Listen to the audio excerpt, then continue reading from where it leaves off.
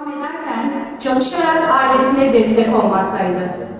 15 Temmuz darbe girişiminin yapıldığı o karanlık gecede Mutlucan evde hasta yatarken F-16 sesleriyle uyanmış ve babasının evde olmadığını annesinden öğrenince babasının şehit olduğunu düşünerek Cumhurbaşkanlığı Külliyesi'ne gitmiş ve o karanlık gecenin sabahına karşı yapılan F-16 saldırısında hainler tarafından şehit edilmiştir.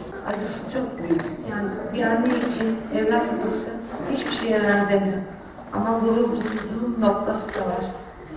Küçücük yüreğiyle o gece namus, şeref, bayrak diyerekten evden çıktı babasıyla.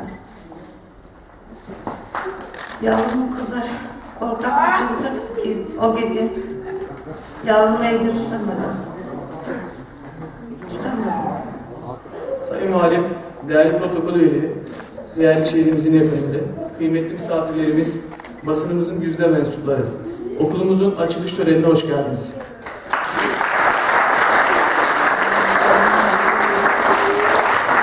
Okulumuz Şehit Mutlucan Kılıç Özel Eğitim Uygulama Merkezi ve Özel Eğitim İş Uygulama Merkezi ile Şehit Mutlucan Kılıç Mesleki Eğitim Merkezi toplamda 63 dönümlük arazi üzerine kurulmuştur. 6 katlı olan okulumuz 8500 metrekare kare kapalı alana sahiptir. İçinde bulunduğumuz okul fiziki imkanları ile sadece Kırklareli'nin değil, Türkiye genelindeki bütün özel eğitim okulları içerisinde şimdiden en iyi okullar arasında gösterilmektedir. Bize düşen görev mevcut fiziksel imkanları kullanarak eğitimimizin niteliğini de Türkiye'de ilk sıralara çıkarmaktır. Bu güzel binanın özel eğitime kazandırılmasında emeği geçen herkese ve okulumuzun kurulum sürecinde üstün gayretler gösteren personelime ve mesai arkadaşlarıma sonsuz teşekkür İstiklal şairimiz merhum Mehmet Akif Ersoy'un dediği gibi Asım'ın nesli diyordum ya, nesilmiş gerçek. İşte çiğnetmedi namusunu, çiğnetmeyecek. Düsturundaki milyonlar tıpkı ecdatları gibi ecdatları ne yaptıysa aynısını yaptılar.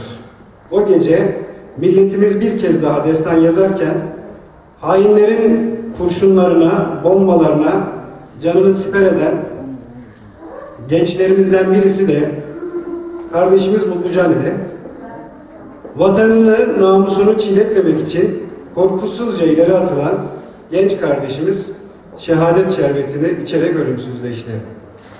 Şehit Mutlucan Kılıç ismi bugün Serhat şehrimiz Kırklareli'nde bir eğitim yuvasında yaşayacak.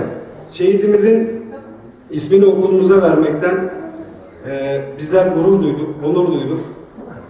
Kılıç ailesi için şunları söylemeliyiz belki. Ülkemiz için bir evladınızı feda ettiniz. Mutlucan daha önce e, yalnızca sizin evladınızdı. Bugün bu milletin evladı oldu. Burada eğitim görecek binlercesi de sizin evladınız oldu. Bizler e, belki şehidimizi geri getiremeyiz. Fakat burada eğitim devam ettikçe aziz hatırasını yaşatacağımızı, anısını devam ettireceğimizi belirtiyoruz. Okulumuzun milletimizin malı olduğunu, milletin malının tekrar millete döndüğünü belirtiyor. Yavrularımıza, eğitim camiamıza, ülkemize hayırlı olmasını temenni ediyorum, saygılar sunuyorum. Mutlucan Kılıç'a tekrardan Allah'tan rahmet diliyorum. Siz yakınlarına, annesi babasına ve yakınlarına başsağlığı ve tekraren sabır diliyorum. Evet o akşam elim bir hadise oldu milletimizin tarihinde ve bu gencecik vatan evladı bu topraklarda önceden tarih sahnesinde Türklerin tarihinde olduğu gibi bir şehidimiz hainler tarafından maalesef toprağa verildi. Ama bizim tarihimizde, Türk tarihinde bu her zaman olmuştur. Bizim tarihimiz bu hainlerle ve bu mücadeleyle geçmiştir. İçimizde ya da dışımızda bu mücadele geçmişte olduğu gibi gelecekte de aynen devam edecektir. Şehidimiz Mutlucan Kılıç'ın ismi bu eğitim yuvasına devletimiz tarafından verilmiştir.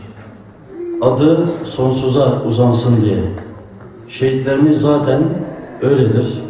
Onlar ölmemiştir, ölmeyecektir. Diğer şehitlerimiz gibi. Değerli arkadaşlar, Özel Eğitim Uygulama Merkezimiz Kırklareli'mize, vatanımıza hayırlı olsun. Tekrar görevini yapan, bu hizmeti açan, emeği geçen herkese teşekkür ederiz.